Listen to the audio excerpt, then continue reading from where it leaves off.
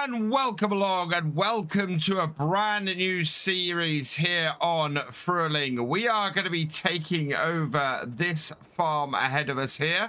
We're starting from scratch and uh, we're going to try and build ourselves a nice little uh, vintage equipment farm here on the map. Uh, so just to go over the settings we've got. We are, of course, starting from scratch. Uh, we are running uh, most of the time on a 10 times timescale. Uh, we have normal economic difficulty and traffic on. Seasonal growth is on. We're going to be doing two-day months after this first day. Uh, and we've got the snow on as well. Uh, all of the other crops and growth stuff is on. So crop destruction, periodic plowing, fieldstone, and weeds are all active. Uh, we have not got the automatic engine start, so we have to start our own stuff. Uh, and the stop go braking is off. We've got the trailer fill limit on and our fuel usage is high. Our AI workers do not fill anything. And uh, we've got both combine experience and the exhaust extension on. Um, but both of these are at their default settings. So let's grab our farm. And our farm is located over here. And I just want to grab this first. And my initial land I'm going to buy is field 23 for 111,139 and field 15 as well so that we have a, a, nice little start bit here that we can expand out of without having spent too much of our money off the get-go. So now we're going to head down to the shop. We need to get some equipment but before that, this video is sponsored by Gportal. G Portal has over 20 years of game hosting experience and are passionate about providing the best possible setup for your dedicated server. They have over 14 server locations worldwide and support more than 100 games, including Farming Simulator 22. Setup is easy, just select the game and then the number of days and number of slots that you want your server to have. You can adjust these, select your location, and after entering your details and payment method, your server is ready to go. Managing your server is just as easy too. It can be found all under the easy to use dashboard. So what are you waiting for? Get 10% off your own Farming Simulator 22 crossplay multiplayer server from Gportal using the link in the description below. So let's come and get some equipment and we'll start off by seeing what's in the sales. And we've got actually quite a few bits that I think are going to be very useful to us on here. Uh, I, the SIP Pioneer, this should be absolutely perfect for us to collect grass. We've got a fermenting silo on the farm. So what if we've got, what is the difference between the small and the big filling volume? Uh, the big is 13, so we'll go for the, uh, uh, which is three, 13,000 liters. Design, we can go wood or aluminium. Uh, that had so little for the aluminium, but I prefer the wood. And attacher type, I want to put a low attacher on. I think that'll work much better. Uh, main color, we've got oh the red or the black as an alternative, but I'll stick that to the white. And the rim color, uh, I'm going to actually go with the gray. I think that's much better. No number plate on this, so we will just buy that. And that is 1,904. Perfect. Second item is this Johnstone flatbed trailer. This is, again, absolutely perfect for what we want on here. Uh, I don't think we're going to want to do many setups on here. Uh, don't want to change the wheels. I do want to put a beacon light on it. Uh, we've got a low attacher again, which is my preference. Uh, we want the EU tension belts because we're going to want to be strapping things down to this. Uh, we'll leave the color and the rim color on this. And uh, yeah, that's perfect. So we'll buy that as well. That's only 6,052. Uh, there's also a Matra trailer here. This is an awful lot of stuff straight off the bat. I, we've been fairly fortunate with what the shop has provided us here. Uh, I want uh, 11,000 liter, yeah, 11,000 liter capacity on this. It can go up to 1440, but they should do us quite well. BKT tires, uh, leave it standard wheels, middle, uh, low, uh, hitch again because so many tractors have issues with the high hitch. And the main color, we leave this as orange um, because that's the color that a used piece of equipment comes at. And we have our first license plate. So we've got a set license plate on here for... No, actually, we should be able to do the whole thing. So let's pick someone at random from the tractor driver level and above patrons and channel members. And selected at random, we've got Gamer Dragon. Thank you, GD, for your support. Your name is going on our first number plate here on Frühling. And uh, yeah, so GRDN7121 is the number plate I'm going with for you. Okay, that. And we're going to buy that. And again, nice low price because this is used of uh, 8,123. And as we continue going through the used shop, this tank is quite good. It does water and it does slurry. It's not very large. Uh, oh, actually, we've got fairly small fields. So I think, yeah, I think we will grab this tanker. Um, I'm going to put a hose on it. I don't think that makes any difference. Uh, we'll go with the slurry tanker setup for now. It can be a mobile water tanker, and this may be useful for that later. Uh, hose color, I'm going to put the blue on it, and we will buy that as well. Uh, that was 6,663. Uh, oh, actually, some net wrap as well. We'll just grab that quickly. So whatever configuration that comes in, because that's a used pile of net wrap. And then we have this. This is a tractor I absolutely wanted on here. The only thing that I uh, did uh, move the used shop around a little bit so that we got a tractor initially and it came up with the Fendt Xylon. Uh, we're going to put the Michelin tires on it. Uh, we are doing no GPS on this series at all. And we've got to leave the color and the rim color because this is a used piece of kit. Selecting someone at random for the number plate. We have Blackmere. Congratulations to you. You have been selected at random from the tractor driver level patrons and YouTube channel members. And I've gone with BKMR to represent you on this number plate. So we will okay that as well. And uh, that is going to be for this tractor with 147 horsepower it's only 36,837. This is a fantastic tractor for that price. Buy that and done. And then finally, we've got a Cedar in here as well. This is the Massey Ferguson 30. Oh, wow. It's looking pretty white and, uh, and mad. I think this is one instance where this looks fairly horrible.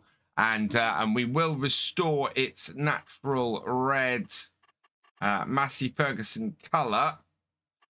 And yeah, it seems to be set up so that it's got no signage on it. So I want to put Massey Ferguson signage on it as well.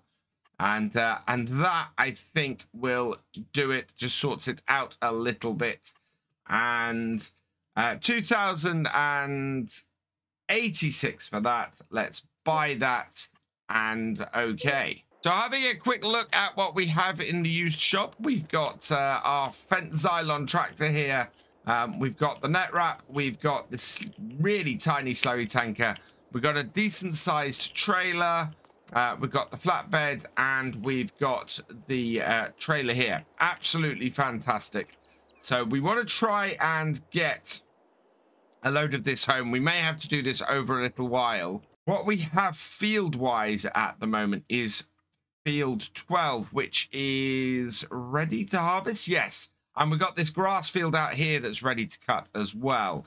So uh, we kind of need a combine harvester to get started. And in fact, looking at this, field four is ready too. So I've got my initial farm. How much money do we still have? 194. And we could pick this. Yeah, if we're going to pick up a couple of fields straight off, I think picking up field seven as well would be a good choice. And that will give us two fields of canola to immediately get uh, to get harvested. That means we're going to need a combine harvester and probably another tractor to do carting, I think. So coming out of the sales, let's have a look at the combines. And I think I'm going to go with the TX32. It's a little bit more expensive than the other class combines I've got here.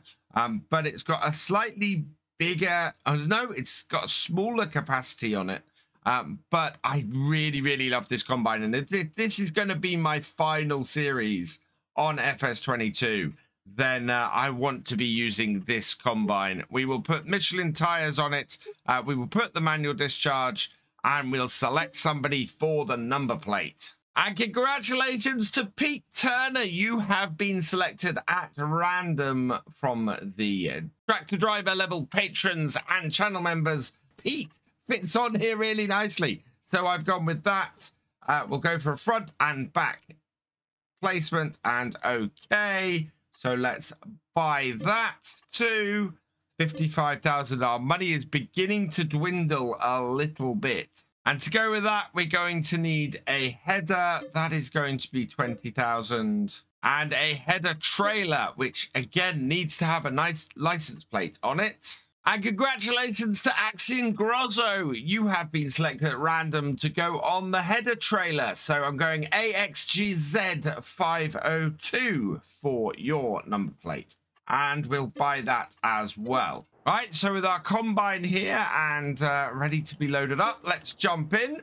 We are running the realistic damage mod on here. So uh, probably uh, our Xylon will need some repairs. Let's start her up and head it out to the field. So 60,000 left to buy another tractor uh, and to buy, well, we're going to need something in order for us to actually work our work our grass. We've got no mower at the moment. We've got uh, a few other bits and pieces we need to get. So the next tractor we pick is going to be absolutely crucial. Let's bring this over to here. Connect that up. Yeah, maneuvering here is a little bit difficult to get this into place. So I'm going to give myself a little bit of space. We are not too far from our farm, I think. So, you know what? I might sell off the header trailer and we'll uh, we'll just negotiate our way around here with the header because it's not a very big header we've got on this combine and yeah we can get this down the road without too much difficulty so let's uh, get our combine back in fact yeah this is the road to our farm down here so we have no need for that header trailer. We'll get that sold and we can use the money for something else. Combine back to the field. I'm going to park this here. We need to lower the header and connect everything up. PTO is already done. And then back at the shop, we can get rid of that header trailer that we don't need. Little bit premature in buying that. So we'll sell that off. And then we need to pick a tractor to go on our trailer. So we're going with smaller stuff because we have a small farm here. And because we have just sold that header trailer after immediately putting their number plate on it, I am going to put uh, Axion Grozzo on the number plate for this, uh, the Deutz Agrostar. So Michelin tires, uh, standard ones on there. Don't need a beacon light. Uh, don't need a front loader attacher on this. And main color, yeah, we've got several color options on here. And I'm going to go with the slightly lighter green, I think. Unless, no, we'll go with the slightly lighter green. Uh, I quite like that. It gives it, it makes it a little bit brighter as well. And rim color. There's the dark gray. There's and there's the oh silver brush metal. That is the number plate. Uh, and yeah, uh, that is the color I want. And then the number plate will leave for Axion uh, because we just immediately sold the piece of kit. Uh, his number plate was originally on. So let's by that, that is going to be 28,000 for a 40, 143 horsepower tractor. Absolutely perfect. Yep. And there we go. This then can now uh, get on our trailer and we'll head down to the field with it. This is one of the best starting tractors for start from scratch.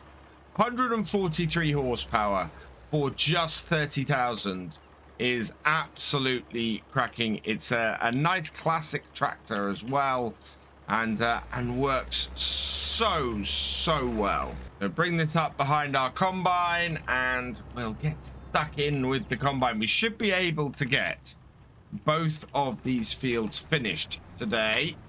No reason why we can't do that and start getting stuff back. We also already have some animals on here. So we've got some cows. Uh, we've got some sheep. Let's turn that off. Turn the whole combine on. Need to unfold the combine. Right, then turn the whole combine on. And away we go into our crop of uh, canola. And yeah, this is going to be a great start. I don't know what we've got in the way of storage. And oh, wow, look at the state of the yield on this. That is really, really poor. One trip around the field and we have 18% full. So this is not going to be uh, the most high yielding of fields.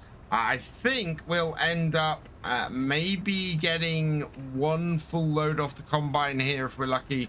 We've got a, a thousand liters so far. And yeah, look at We've actually got an area, a spot down the bottom corner of this field where it's red, where it's down to 50% yield. There's a lot of potential in this field then. We could double the uh, amount of crop that we're getting off here. Uh, and I'm I'm really looking forward to getting my teeth into improving this field and uh, and getting it all done. Uh, we need to get it scanned, which is the only uh, bit of uh, modern setup we have on here. We won't pay for a scanner. We will uh, have to, to pay to get it scanned, which is, again, a, a, little bit closer to how a vintage setup here would work. And yeah, we'll uh, we'll then be able to get some lime on here and some and get it fertilized and everything and vastly improve uh, the absolutely dire yield we're currently pulling out. Uh, we are going to be, though, up to about 35, 38%, uh, I think, uh, by the time we finish the second headland. I want to do four in total. That'll give this combine enough space to turn around. And then uh, we can cut in. Three headlands in and we're just verging on 50%. In fact, we haven't even made 50% uh, off that.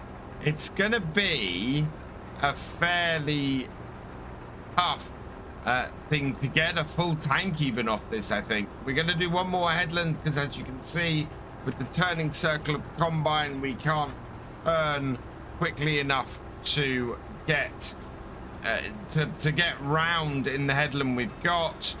There is the 50% though. I, I, think we might get a full trailer off both of our fields here. So uh, we'll crack on and with any luck we will uh, have at least uh, what 10,000 liters off here. Uh, that will give us 10,000 pound from our initial harvest uh, I think we, uh, as I said, I think we can double that. Fourth header is done. Let's swing round and we're going to come as much down the middle of this field as we can. So I think that's about there. Set our angle at 180 through the field and Cut down it so the whole thing can be opened up. We're coming up to 72% full. We've got about four rows left, I think. and the field has opened up very nicely but it's it's not a huge amount but that's kind of to be expected these are not big fields they were it wasn't expensive and uh, it should be enough to at least get us going on here uh, we kind of want to put in high value crops in these fields uh, canola is a good start uh, i think like we've been doing on Purbeck, I think sunflowers are a great way to go for getting us a lot of money off a small amount of land. Uh, possibly sorghum as well. Uh, we also have to consider, though, we do need to have something uh, that will allow us to uh, get straw for our cows. So we're going to have to mix a, another crop in there. In fact, the best crop might be oats. We need oats for our horse, and uh, we can make a good amount of value, uh, good amount of money off oats, uh, better than wheat or barley, and they produce straw. So yeah, I think oats might be a good crop to go with on this map. Coming to the end of the row, and we are 80% full. So let's come in with our trailer, get this all collected up. And we've got manual discharge on on the combine. So let's uh, unload that. And not bad for the first field. Our environmental score is, of course, already taking a pounding because we have a lot of work to do with that. Uh, however, let's have a look at the yield map on here. And it's not quite down as low as 50. Everything on here is between uh, 75 and 55%. But considering that this is a uh, a pretty good field, I think. What have we got on the uh, setup? So yeah, its yield potential is 121%. So there's a lot we can do to improve this field. Now, something I want to do before I continue is our Xylon here. This, I think, could do with a, repair. Uh, it's got five damages on it already. So while we're down here at the shop, let's grab ourselves a repair pallet. There we go. So we'll grab a servicing pallet. We're going to need this anyway. Yes. And we'll start up the Xylon. Where is the repair pallet? Ah, it's in the middle here. Okay, so that's going to uh, block things for a bit, but we're all right, I think. So we'll get this scanned, uh, and then I think we're probably going to want to get this back to the farm get it repaired. Although we could leave a lot of this here. I did want to get a third tractor, but I think it's out of our price range right now. So let's bring this up and we will start the inspection and that will be ready in an hour's time. So that should give us enough time to get the combine to the next field and get that harvested as well. So that is down at uh, field four. We'll head out of here. Uh, oh, the roadway to it is just here. Uh, so we'll head to field four. We'll uh, we'll get that harvested as well, and we'll see where that leaves us. About the same size as field 12, so not expecting us to really end up with more than a trailer's worth. But at least that is then a trailer's worth off these two fields.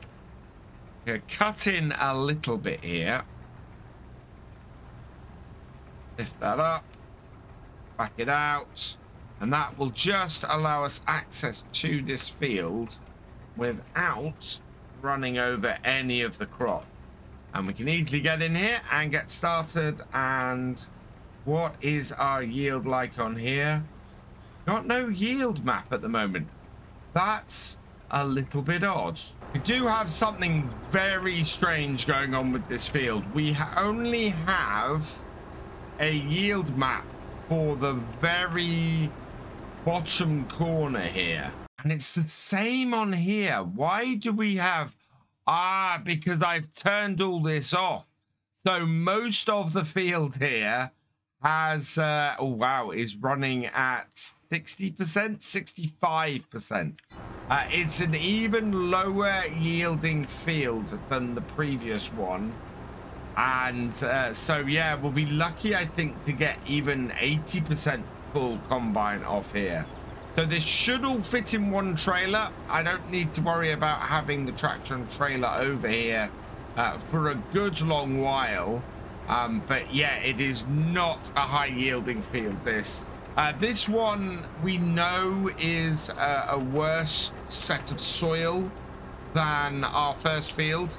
Uh, I think this is uh, slightly down on uh, a maximum yield. I think this like has like a 91% yield. Yeah, the yield potential is 91%. So it's mainly silty clay. It's not a great field.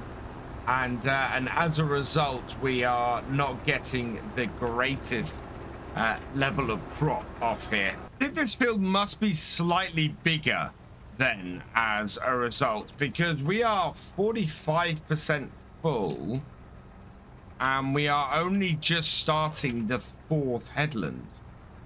So we, we definitely at this stage in comparison to the other field have more crop. Uh, we hadn't hit 45% at this point. We we hit 50% I think when we finished the headland. Uh, on this, we're going to be nicely over 50% by that point. Uh, just wondering if the middle of the field... It, it's weird. The map feels like we don't have a huge amount to go, but looking at this, it, it definitely feels like we have at least as much in the middle here as we had on our first field. So I'm not I'm not quite sure what is uh, what is happening with this here. Yield is definitely down on the previous field. Uh, I don't know exactly how much we're going to end up with here. We'll find out in a minute because we're going to start our cutting as soon as we get to the end of this next row. Yeah, this definitely feels like a lower amount now. We've only just gone over 60%. Uh, there might be 20% left in this field, but I'm not really sure about it. We've only got about six rows to go and it's it's not yielding high at all this field so this will not fill a trailer our, our trailer doesn't quite take two full loads off the combine um, but we only had 80% on the first field I think we're only going to have a maximum of 80% on here we've got 15% to go with probably four more rows off here and I don't think at that it's actually going to end up being uh, an 80% full combine off this field. One thing I am very pleased with on this field is that I seem to have cut in at a perfect width. Uh, the final row here, we have got the entire row in the header of the combine. And then if we go and have a look on the other side, I think we're going to be very similar on this side. Yeah, look at that. Uh, the entire width in the header of the combine. That is perfect. Absolutely wonderful. We are at 75%. So yeah, we're not going to hit 80. There is not enough uh, canola left in this field. And in fact, we are going to be left with 76% in total. So let's go grab our tractor and trailer and get this emptied. Wow, we are not even going to hit 10,000 litres off these two fields. They are both pretty small yielding fields off the bat. I, th I think next year, with a little bit of TLC on these fields and uh, a little bit of work, we'll be able to actually get uh, these the yields off here to be better. I mean, it's also canola, so it's it's not a, a great uh, amount of crop anyway. For the 9,000 liters that we're going to have, yeah, 1300 is the max. So uh, we, we should make 10,000 off these two fields. Uh, it's just, yeah, that is all we're going to make off these two fields. Augering, I'm going to leave this combine down here for now because we have a couple of fields over that way that might be interesting to us. Uh, otherwise, let's go and see if we have a uh, storage to go and put this canola in. And so at the end of the day, we're going to have a chance to take a look around the farm. Uh, I think this building here is a grain store, if I remember correctly. Yes, so this will tip into here rather nicely. Let's bring this round and uh, and get this in. Now we're gonna need to get hold of some feed for the animals. I don't want to leave them too long without anything. Uh, we have only just got them, and uh, of course we don't have any uh, any grass work yet. Uh, what we'll do, I think, is next game day we'll grab some mowers, we'll cut the grass, uh, we'll row it up, and we'll start making some grass and silage. Uh, we should be able to feed the cows grass. We can feed the sheep grass. Uh, we'll have to buy some... Uh, well, we have to buy some feed for the chickens because we don't have a wheat field at all anywhere. And we can't feed them canola.